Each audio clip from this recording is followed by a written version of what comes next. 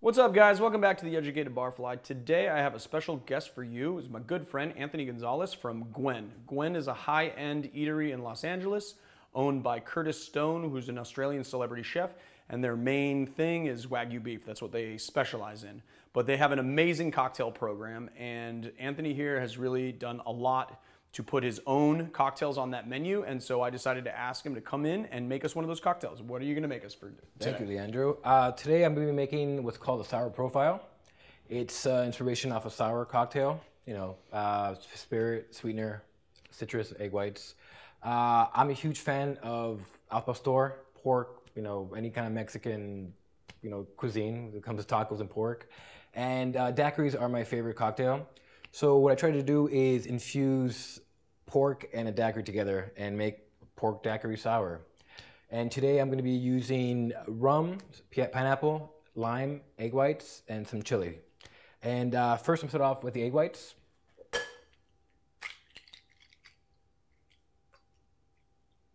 You of save that. It's like tough to kind of save it. I can take that for you. Oh, thank it's, you. It's tough to save an egg white when you get a bad break, but that one's actually pretty good. Oh, thanks. Yeah, many years of uh, you know cracking eggs over there. That's right. Yeah. and we're going to be doing uh, half an ounce of pineapple juice because you can't have pineapple without a store.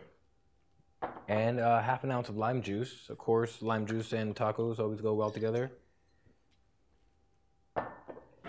And we're going to be doing an ounce and a half of Magdalena pork wash rum.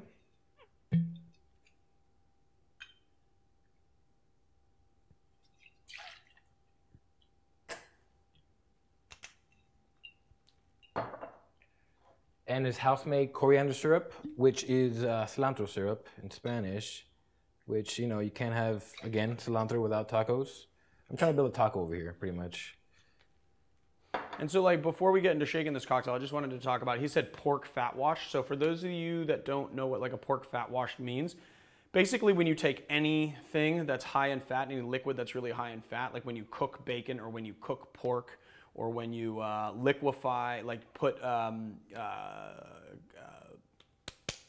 uh, uh coconut oil, sorry, coconut oil or olive oil overheat and liquefy it uh, and infuse it into uh, a liquid. What happens is, is that as you, when you let it sit and as it gets to room temperature, it'll actually solidify inside that liquid. And what you do is you can skim the, those, you can, once the fat uh, solidifies, you can skim the solids out and it leaves behind its flavor profile. Um, and uh, I've been meaning to get into this on this on this channel, but I haven't gotten into it yet.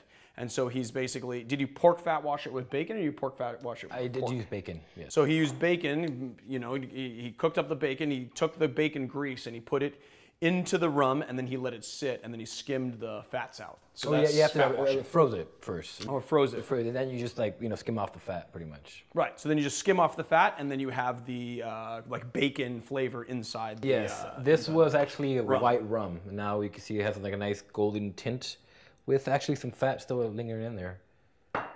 So now we have all the ingredients in there. I'm gonna do a little dry shake to emulsify the egg, get it nice and frothy.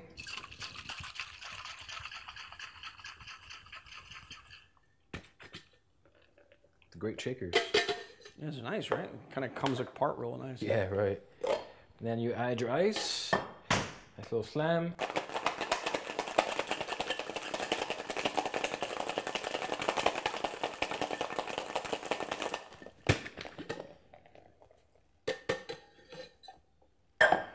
So you're gonna add your block to the glass, and then uh, with this one you don't have the double strain. Nice and creamy there. Oh, beautiful. I'm just gonna, yeah. And then we have three touches left. I like to add a little chili powder to give it a nice little kick. You can garnish it however you like. I like to have a little, you know, a little line across. And then this is a chicharron, which is uh, pork rind in English, I believe. Pork rind, yep. Yeah. And then uh, a little flower inside, edible flower, and we are. There you have it. Oh, the flower.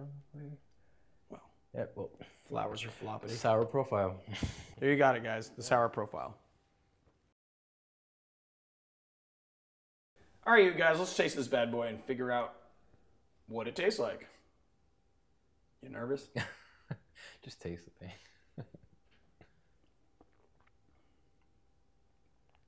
oh man, like the pork actually really comes through on this. Yeah. It's nice. It's like You taste tacos. you get the citrus, you get the coriander a little bit, you get the pineapple. It's not overly sweet at all. Right. Uh, I can really taste the pork inside the rum. It's great. Yeah, thank you. Appreciate Yeah. it. Yeah, it's, It's a a great, great cocktail drink. for in a hot summer day. You know, if uh, if you're hungry but you don't want to eat and you want to just want to drink, there it is. There it is. Pork daiquiri, A pork daiquiri, otherwise known as what is it again? a sour profile, A Sour profile. and you can get it at Gwen in Hollywood. Right. So if you go to Gwen, sit in front of Anthony, and ask for the sour profile, and this is what you're gonna get.